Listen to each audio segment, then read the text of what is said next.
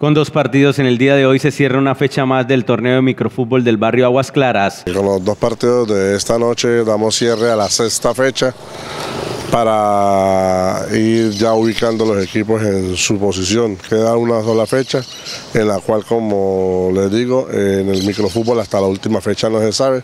La otra semana se cierra la programación y veremos quiénes son los clasificados para la siguiente ronda. La organización hace un balance de lo que ha sido las fechas hasta el momento. Positivo porque son encuentros de que no son marcadores abultados, son marcadores ajustados, son equipos aguerridos, tanto los ya veteranos contra los jóvenes, contra los que no tenían experiencia en los torneos abiertos y me siento feliz como organizador en este torneo porque ha dado muchas sorpresas. Equipos que se afianzan en la parte alta de la tabla y que van asegurando la clasificación a la segunda fase. El equipo que en este momento está afianzado, pues ya se está peleando entre dos equipos, como el Global y como es el equipo revelación del torneo, el combo de Zapatoco. De igual manera también hay equipos revelaciones en el torneo de microfútbol del barrio Aguas Claras. Combo de Zapatoco son unos jóvenes de la Comuna 3 eh, que no salían de ese sector, jugaban solamente en su comuna y un señor